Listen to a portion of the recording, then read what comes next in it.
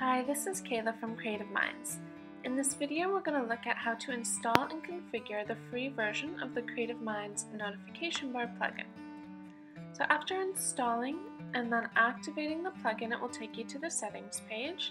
And the settings page here is just mostly instructions. So let's look at how to add a notification bar. So to add your first bar, click on Add New Notification Bar. You can give it a name so that you can identify it and add the message.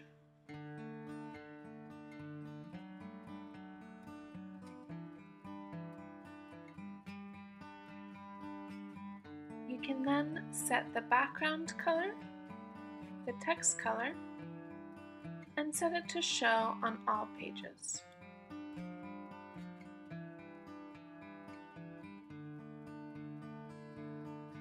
Publish the notification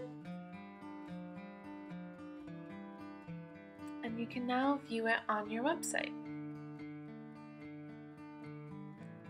So the basic version of the plugin does not allow you to choose which pages it displays on, but the Pro version has many more options for this where you can choose exactly which page you would like it to display on.